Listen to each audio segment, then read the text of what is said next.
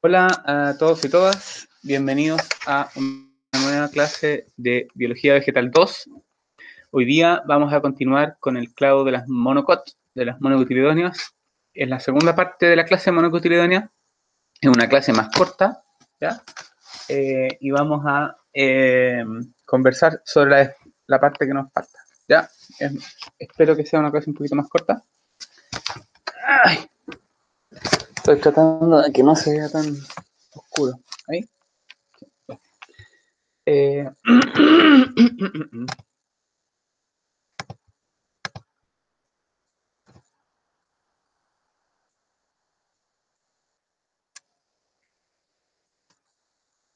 ok.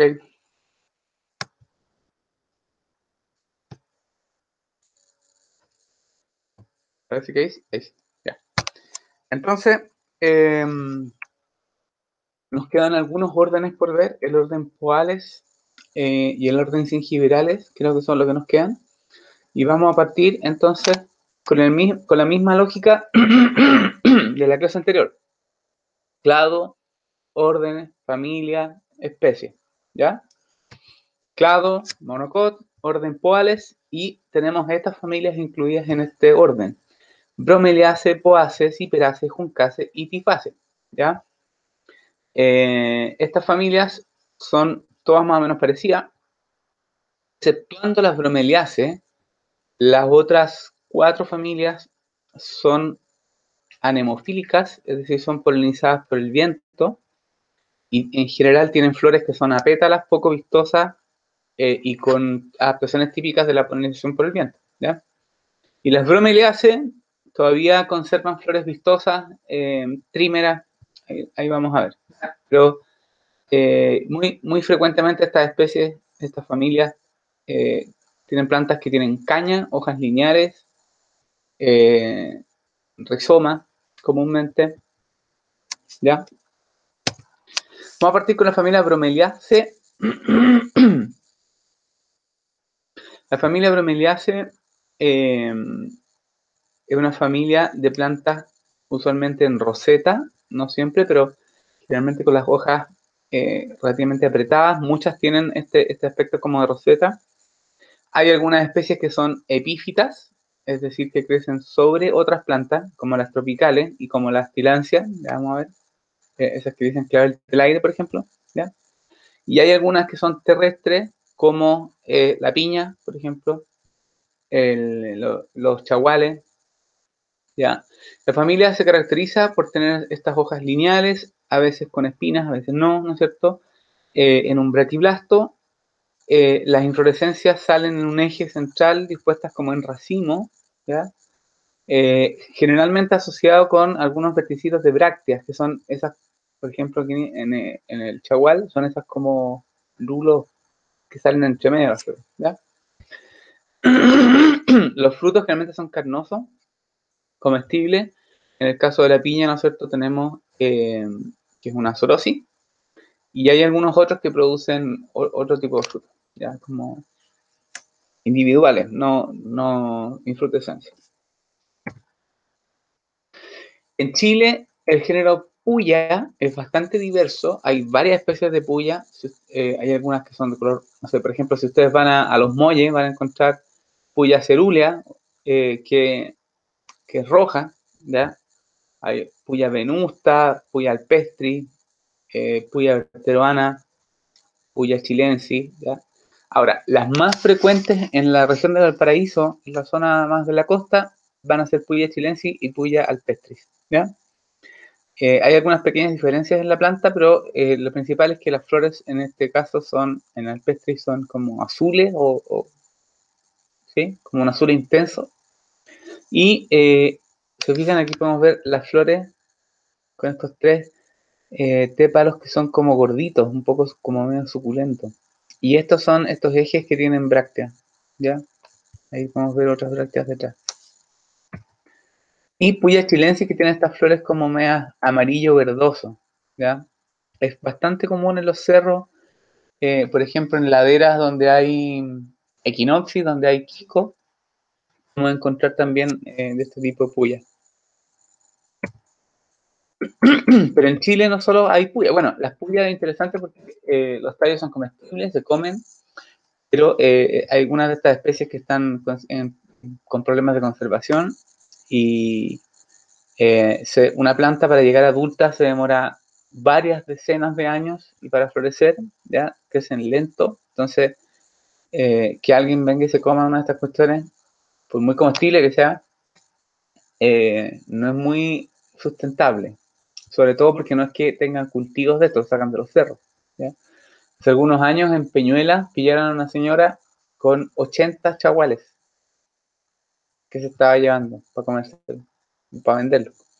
Y si ustedes piensan, ahí tienen como 400 o 500 años acumulados en, esas 80 plantas. ¿Ya?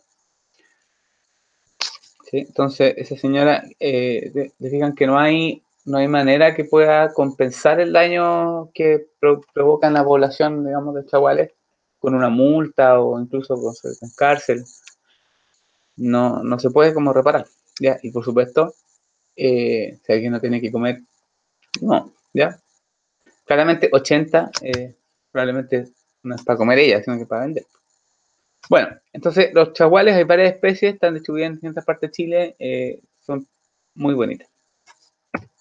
Gregia facilata es el chupón, hay, creo que dos especies de gregia, y en el sur estos chupones los venden en la calle. Las, señoras en la calle como que venden atados atados de chupones y se llaman chupones porque este fruto ya se masca y se chupa y es dulce.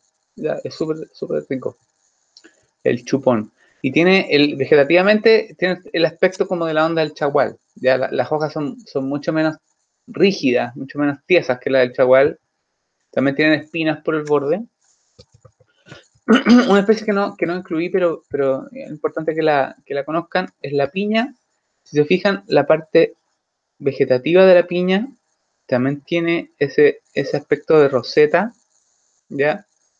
Eh, o sea, es, decir, el aspecto de la piña en el suelo de la planta es como una especie de chagual. ¿ya? Hay gente que piensa que la piña es como un árbol, no sé, o algo así. Y este, eh, recuerden que es una sorosis, entonces este que está acá es un tallo braquiblasto, un eje donde aquí está el ápice, y estas flores salen de forma lateral. Salen de forma lateral y se fusionan para formar esta estructura de la piña. Si uno corta la tapita esta, como este tiene el meristema apical, esto puede rebrotar, generar una planta nueva.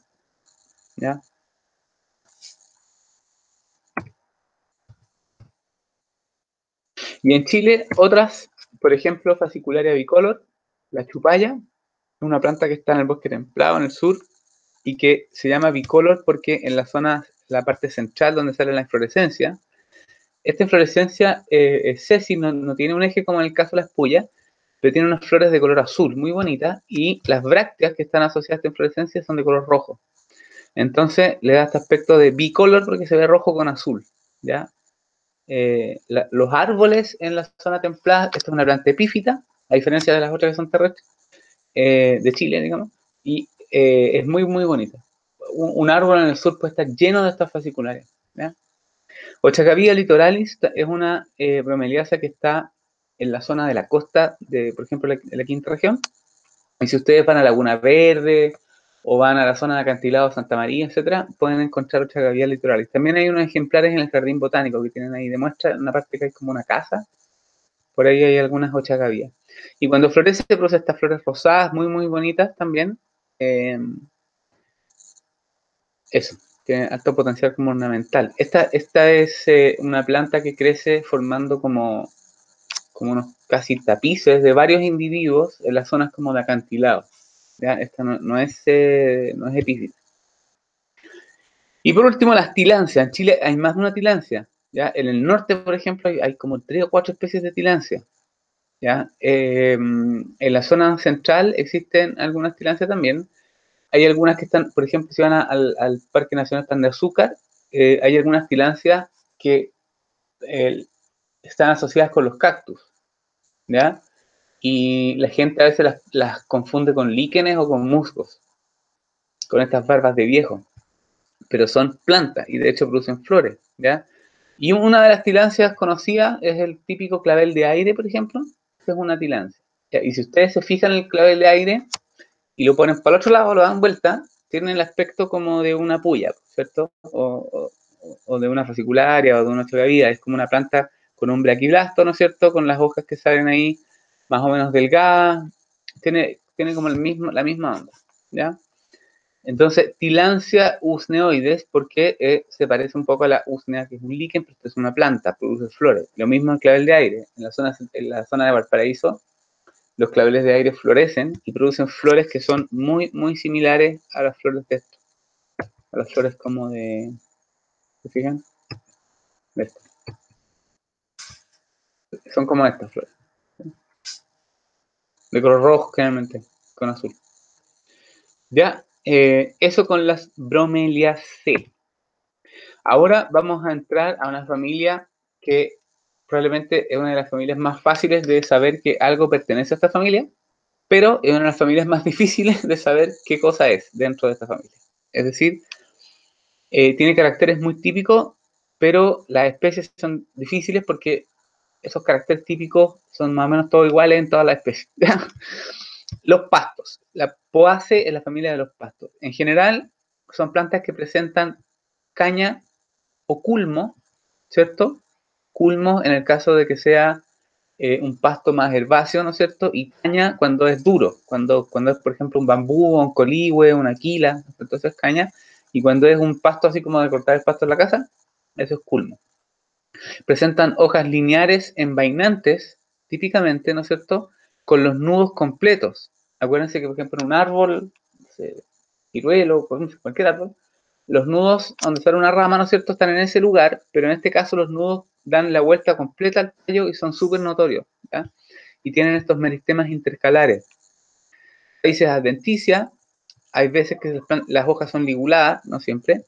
La inflorescencia generalmente es una espiga, ¿ya? Una espiga, y esta espiga, cada flor individual está protegida por eh, dos brácteas que eh, la gente que estudia pasto es como eh, gente bien particular. entonces, porque hay que ser bien, bien valiente para meterse con estos pastos. Entonces, le pusieron nombres propios porque es una inflorescencia, una flor bien particular. Palia y lemma son dos de las brácteas, ¿ya? A veces cuando esta, esta, flor está cubierta por, eh, por como otra, digamos, bráctea y que tiene una punta, ya, una punta, y a eso se le llama arista. Y dentro de esta bráctea que tiene la arista está palia y la lemma, ¿ya? que no son sépalos y pétalos, son brácteas. ¿ya? Estas son plantas que son aclamidias no, no tienen, son apétalas, ¿ya? Tres estambres con filamento distinguible, un estigma bífido plumoso. ¿Qué quiere decir eso?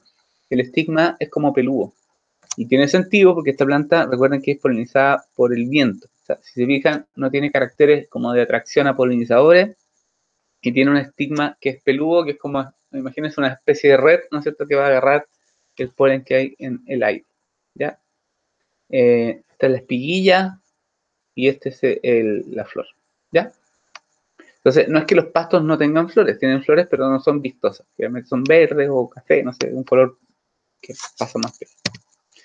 Hay un montón de especies de pastos que son súper importantes porque son cultivos. ¿Ya? Entonces, hay algunas especies como avena barbata, que es la avena, ¿ya? Oriza sativa, es el arroz, ¿ya? Em, algunas otras especies como Tritricum aestivo es el trigo, secales cereales, ¿ya? Em, ordeum eh, y todas esas especies que son el centeno, la cebada, ¿ya? Ordeum es la cebada el centeno es el secales cereales. Y sea maíz, que es el maíz, el choclo, ¿ya? Eh, yo les recomiendo, como, son varias especies, son cereales súper importantes, yo les recomiendo que se hagan una especie de tabla, ¿ya?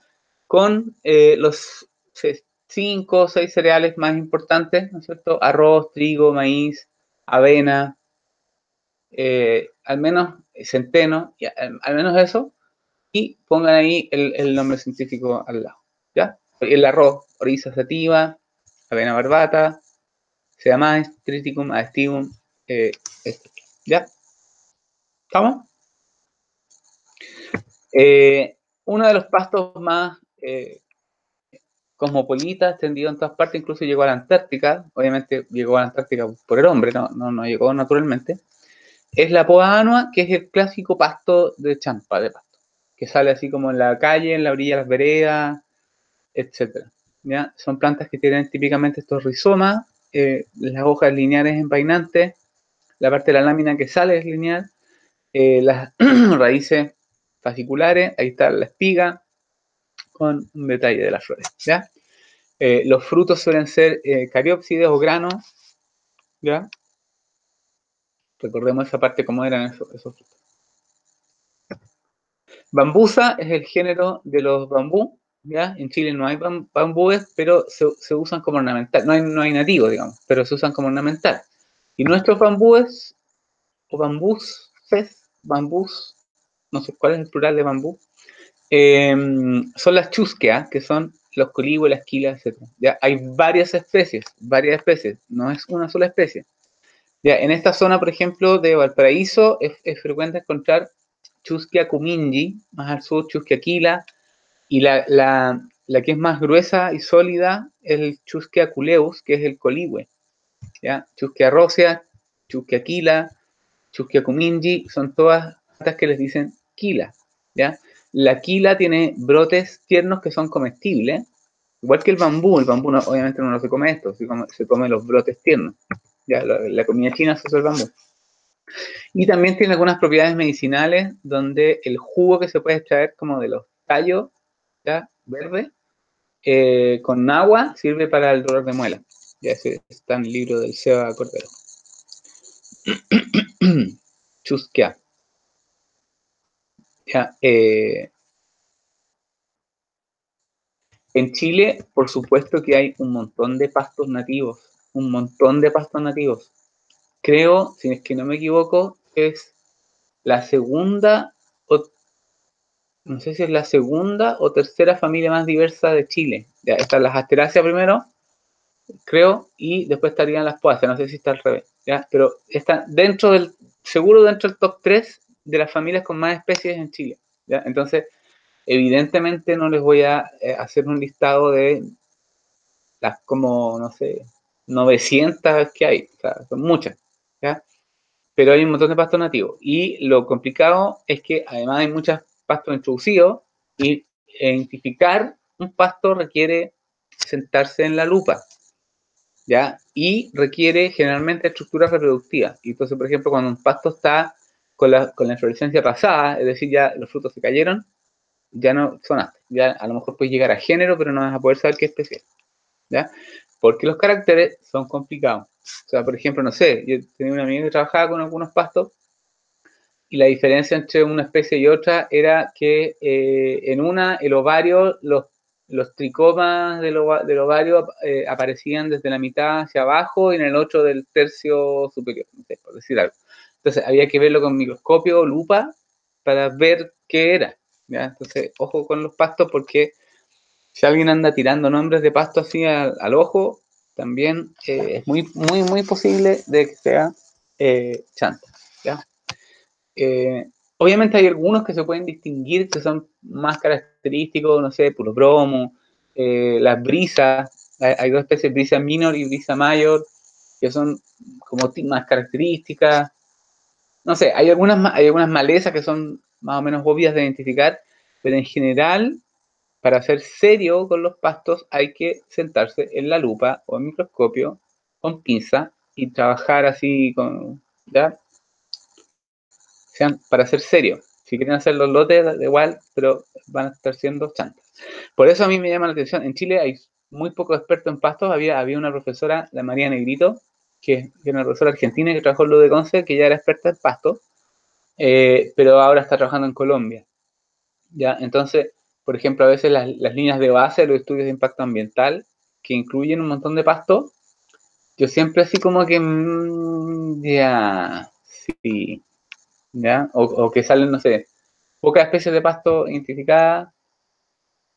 Eh, claro, como no hay un, no hay muchos expertos, es, complicado eh, la fiabilidad de, los datos a veces.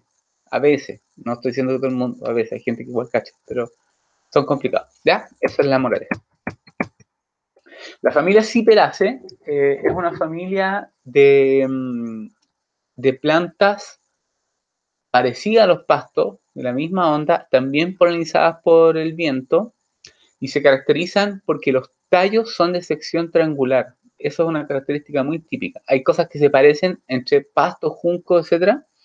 Y cuando yo los corto el tallo y es triangular, entonces sí perace. Si se encuentra una cuestión que es como una champa, algo así, una de las características que tienen ejes tienen tallos que son triangulares, ¿no es cierto?, que terminan en un ápice braquiblasto con muchas hojas. Eh, y entonces, esta es la familia de los papiros. Entonces, si ven algo así que es como un eje con una champa arriba, y ahí la, inflorescencia, eso es una ciperácea, ¿ya? Hay algunas ciperáceas chiquititas que son súper, súper, súper parecidas a juncos, a juncaces, ¿ya? Entonces, y como están en ambientes similares, porque también son típicas de ambientes más húmedos, como de orillas de laguna o, qué sé yo, zonas anegadas, entonces, eh, de vega, a veces es muy fácil cachar, o sea, confundirse entre ciperáceas y juncáceas. Y, también la identificación de las especies, o sea, claro, las que son papiros ornamentales son, se cachan, pero hay unas que son de este porte. Y, son súper complicadas de identificar, ¿ya? Uno sabe que es una ciperácea, pero ¿cuál?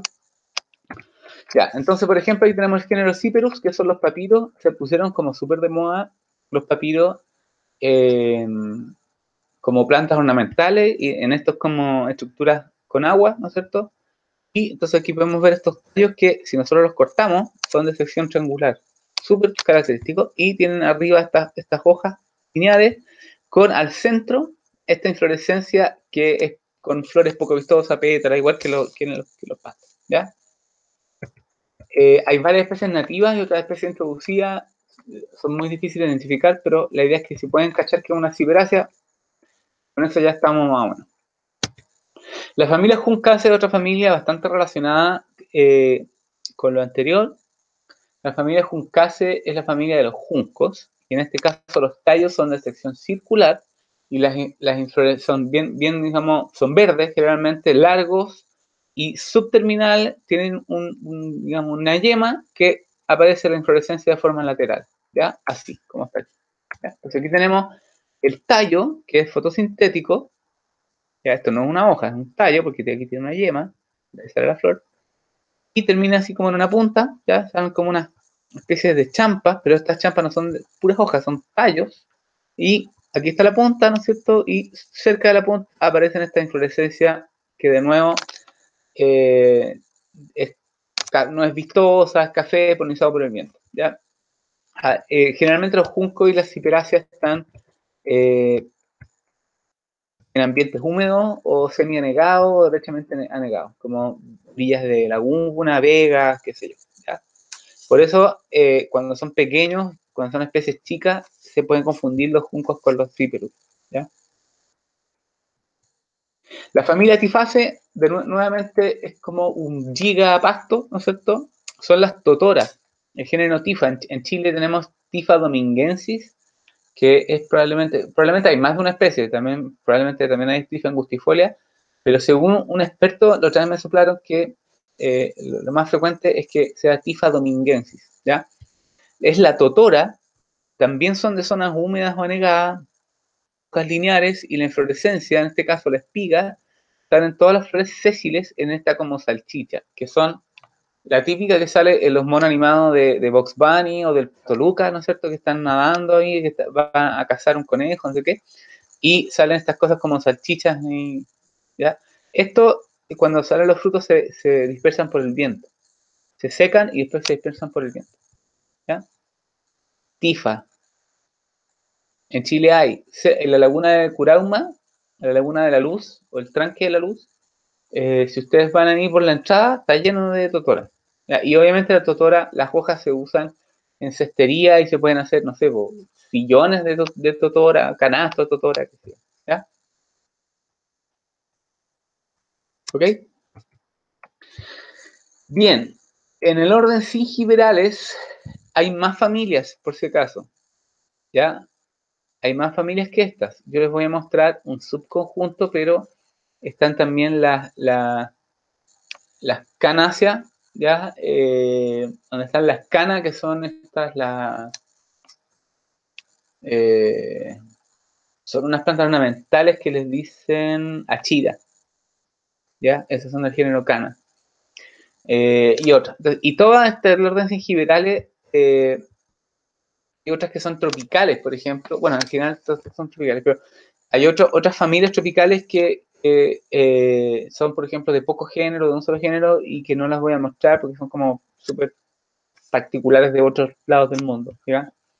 Les voy a poner algunas que podrían ustedes ver aquí en Chile en el home center o que las venden para ornamentales, etc. ¿ya? En general, todo el orden generales incluye plantas, eh, obviamente herbáceas, son todas monocotiledóneas, con rizomas muy notorios. Las hojas suelen ser con nervadura eh, pinada en vez de con nervadura paralela. Ya tienen un nervio central grande y de ahí nervios laterales que salen de forma lateral. Eh, ¿Qué más? Eh, flores vistosas.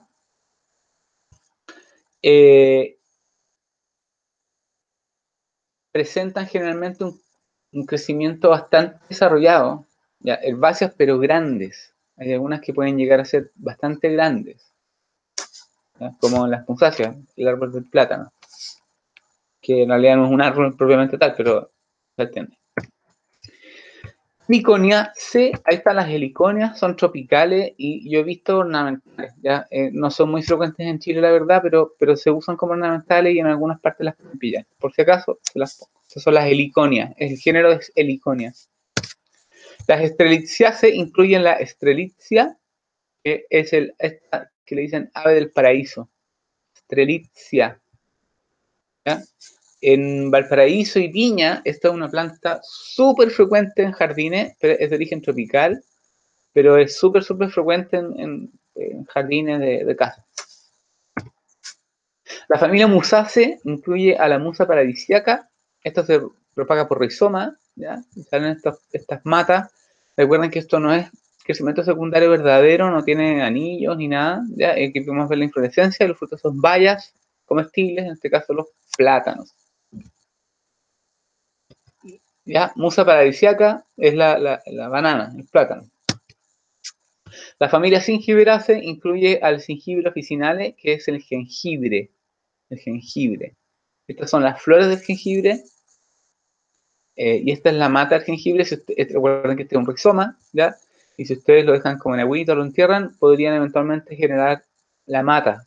Yo en Valparaíso, aquí en Curauma, he intentado por distintos medios y nunca he podido hacer brotar se, se pudren o se, secan, pero no, no sé si es mucho frío, ya, pero no, no hay caso con poder hacer brotar esta cuestión.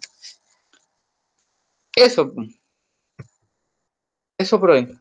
Ya, entonces, si nosotros recordamos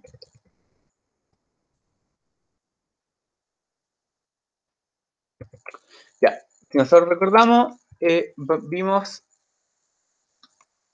hoy día en esta clase corta la segunda parte de las monocotiledonias, donde tenemos el orden Poales, que incluye la familia Bromeliaceae, donde está el chupón y, las, y los chaguales, ¿ya? La familia Poace, donde están los pastos, las quilas, la familia Ciperace, donde están los, los papiros, ya los cíperos, los papiros, la familia Juncace, donde están los juncos, el género Juncus. hay muchos juncos que son introducidos, maleza, y otros que son algunos nativos, ¿ya? Y eh, la familia Tiface, donde están estos como salchichas, las totoras, Y después vimos el orden gingiberales, donde vimos las heliconiaceae, donde están las heliconias, estreliciaceae, donde están la, la la del paraíso, musase, donde está el plátano, musa paradisiaca, y gingiberase, donde está el jengibre, jengibre officinalis. ¿Ya? Eso por clase corta y setut. Ya nos estaríamos, eh, nos estamos viendo el próximo miércoles. Miércoles. Miércoles. ¿Ya? Adiós a todos. Cuídense y eh, no salgan. ¿Ya? Sí, que bueno.